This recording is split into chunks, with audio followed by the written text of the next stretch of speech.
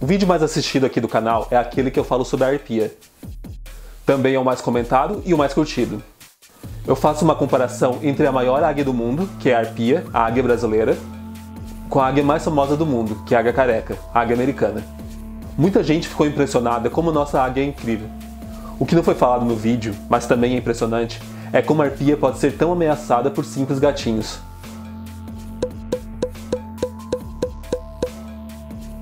A ecologia é formada de diversas relações de um ser vivo com outros seres vivos.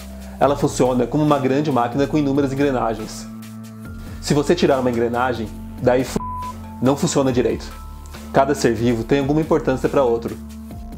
As abelhas polinizam flores. Sem as abelhas, inúmeras plantas deixariam de existir.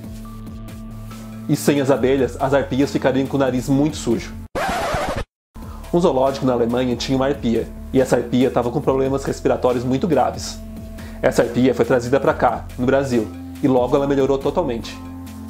Chupa Alemanha, nossa águia gosta daqui, do Brasil mesmo. Agora tá só de 7 a 2. Mas o que tem no Brasil que não tinha na Alemanha para fazer essa águia melhorar tanto? Som de funk ou de sertanejo universitário? O clima mais quente? O descontrole da pandemia incentivado pelo governo? Não, o que fez diferença foram as abelhas Meliponini, que são as abelhas sem ferrão e são nativas daqui do Brasil. E assim que a águia voltou para o Brasil, ela recebeu a visita das abelhas. E logo ela ficou recuperada. Já foi registrado diversas vezes essas abelhas fazendo limpeza nas narinas de algumas aves predadoras, como corujas e falcões. Tem registros de vídeos muito bem documentados. Mas há relatos indígenas que dizem que essa interação acontece também com arpias. Essa relação entre a abelha meliponine e a ave é benéfica para ambas, Enquanto a ave se beneficia em ter sua narina sendo limpa, as abelhas se beneficiam colhendo material para a construção das colmeias. A abelha meliponine e a arpia evoluíram por muito tempo juntas e criaram essa relação de mutualismo, que é quando os dois indivíduos na relação saem beneficiados. A evolução também é responsável por ter uma harmonia até em outros tipos de relação, como na predação. Enquanto o predador fica a cada geração mais adaptado para capturar a presa, a presa a cada geração fica mais adaptada para fugir do predador. Se lembra quando eu falei sobre engrenagem na máquina? Se faltar uma engrenagem, temos um problema. Mas se adicionarmos uma engrenagem numa máquina que já está completa, aí a gente tem outro problema. Por milhões de anos, os animais nas Américas foram se desenvolvendo e evoluindo. Humanos chegaram aqui há dezenas de milhares de anos e fizeram parte dessa evolução. Mas há centenas de anos atrás, o que é muito pouco numa escala evolutiva, europeus chegaram de barcos trazendo gatos domésticos. E o que os gatos europeus encontraram aqui no Brasil eles encontraram animais que serviam de presas, mas não evoluíram para aprender a fugir de gatos. Também encontraram predadores que não estavam muito bem adaptados a eles. E voltamos a falar agora sobre as engrenagens. Só que dessa vez socaram engrenagens dentro da máquina. Engrenagens que não deveriam estar ali. Inevitavelmente, algumas engrenagens vão se quebrar. O problema maior são nas ilhas, como é no caso de Fernando de Noronha. Além de gatos como Marina Rui Barbosa, Bruno Gagliasso, Bruna Marquezine fazendo festas pela ilha, Fernando de Noronha também está cheio de gatos domésticos. Tem os gatos domiciliados que têm tutores, vivem em casa, mas conseguem às vezes dar uma voltinha.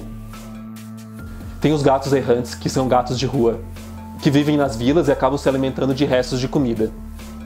Tem também os gatos ferais, que aprenderam a viver como gatos selvagens.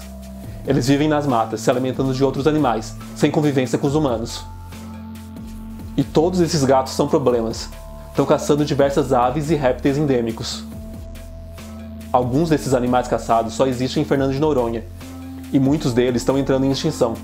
Nos Estados Unidos, o estudo apontou que por ano os gatos matam em torno de 1,4 a 3,7 bilhões de aves. Isso contando somente as aves, sem contar pequenos mamíferos, répteis, anfíbios e insetos. Um outro estudo apontou que um gato pode ter um impacto ambiental de 4 vezes até 10 vezes mais do que um outro predador natural. Quer dizer que os gatos matam muito mais animais que um outro predador.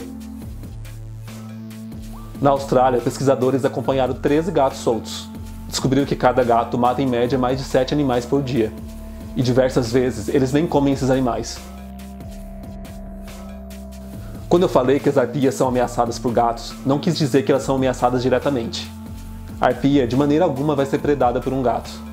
É bem provável que a arpia que possa fazer o gato de refeição. Mas o equilíbrio do ecossistema gerado pelo gato, esse sim pode ameaçar a arpia, como qualquer outro animal selvagem. Por exemplo, se as abelhas Meliponine forem extintas, as arpias vão ficar com as narinas sujas, sem receber nenhum serviço de limpeza e com muito mais problemas respiratórios. Então, o que fazer com os gatos? A primeira coisa que a gente tem que fazer é ter noção que esse problema existe. Mas você está assistindo esse vídeo, então agora sabe. Agora sei. E que a culpa não é deles, e sim de nós humanos, que colocamos os gatos nesse ambiente que não eram para estar. Tá. Se o gato não estiver na rua, não será um problema. Ou pelo menos vai ser um problema bem menor. Eles ainda vão poder caçar um passarinho que pousa na sacada ou um grilo que entra dentro de casa. Mas de qualquer forma, o impacto vai ser muito reduzido. Às vezes parece que deixar o gato preso em casa é meio que maltratar, né? E eu sei como é. Eu já tive um gato. Faz muito tempo isso. Eu ainda era adolescente. Foi há 84 anos. E nunca passou pela nossa cabeça que ele deveria ficar preso. E um dia ele saiu para dar uma volta. Não sei o que aconteceu com ele, mas ele nunca mais voltou. Eu gosto de gatos, e a minha filha Anne gosta muito mais ainda. Ela adora sair para passear e ver os gatos na rua. Um dia eu descuidei só um pouquinho e ela quase pegou um deles pelo rabo. Mas além da Anne, existem outros perigos que os gatos podem encontrar, como atropelamento, envenenamento, contato com outros animais que podem passar doenças infecciosas. Algumas dessas doenças, inclusive, podem até passar para os humanos. O que se pode fazer é deixar eles em casa e deixar o ambiente mais atrativo para eles. Eu realmente não sei como fazer isso, mas vou deixar alguns links de vídeos aqui na descrição. Vídeos que falam sobre enriquecimento ambiental para gatos, que é como deixar nossas casas e apartamentos muito bem adaptados para eles, reduzindo o estresse e aumentando a felicidade. Um gato pode ser feliz dentro de casa, sem correr o perigo de sair e nunca mais voltar. A expectativa de vida de um gato que vive em casa é de 15 anos, enquanto que de um gato que vive na rua é de apenas 3. Então compartilhe esse vídeo com quem tem gatos e se preocupa com eles. Essas pessoas podem salvar seus gatos. Também podem salvar animais selvagens, incluindo a arpia. E sabe quem arrumou uma maneira bem criativa para não ter problema com gatos ou com qualquer outro mamífero? As pimenteiras. Clica nesse vídeo e conheça a estratégia de sobrevivência delas. Agora eu vou indo. Tchau. Como assim eu não posso sair? Não é todos os gatos que têm que ficar presos.